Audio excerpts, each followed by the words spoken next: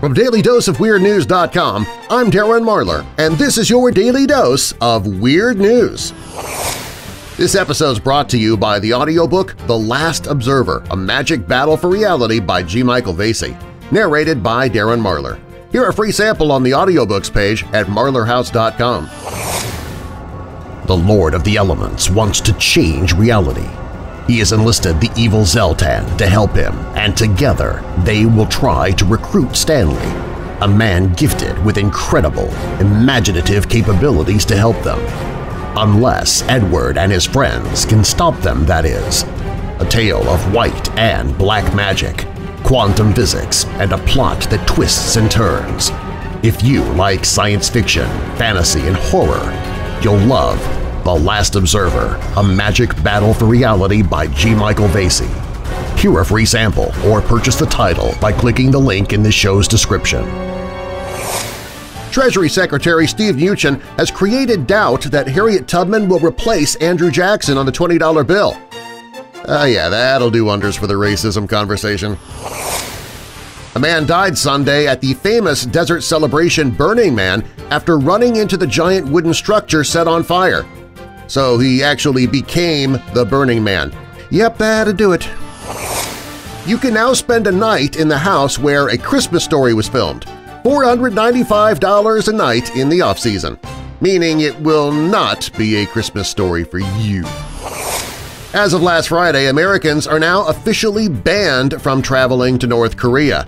It's the only travel ban aimed at a single person, whose name happens to be Dennis Rodman.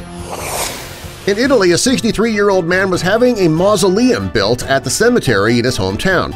He wanted his eternal resting place to be just right, so he made frequent visits to make sure that the construction crew was building it exactly to his specifications.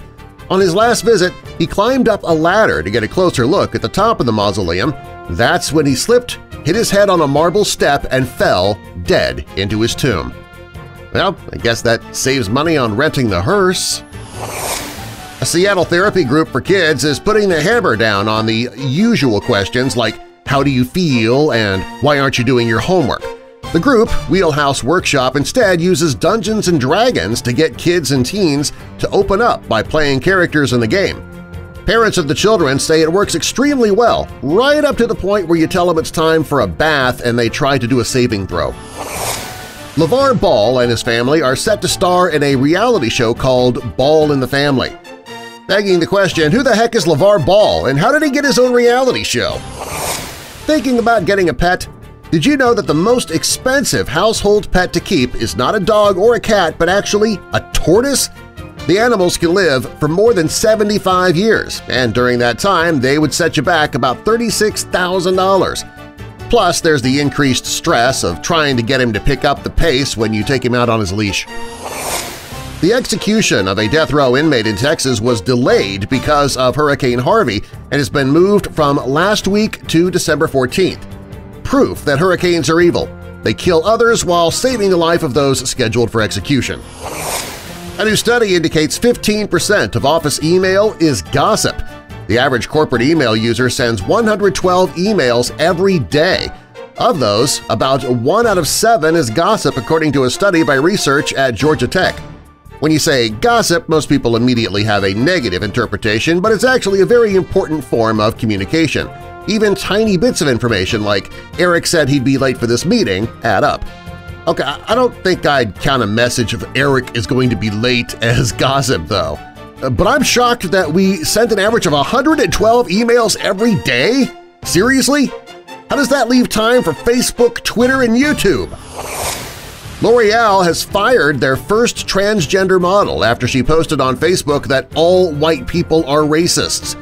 And it's amazing how those who scream that they should be accepted are quick to label and condemn everyone else. In Ukraine, a burglar broke into a church to steal gold fixtures. That's when the plan fell apart. It seems he fell asleep and got locked in the weekends-only facility for five days, surviving on the only liquid available, sacramental wine. Five full days in a church to contemplate your life before God and think about the wrongs you've been doing. Sounds like a fitting punishment to me.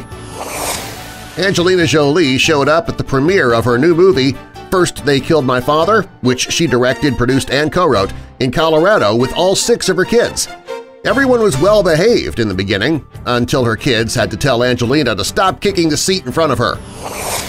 If you're already an official weirdo, please share this video on Facebook, Twitter, Reddit, and other social media to help get the word out.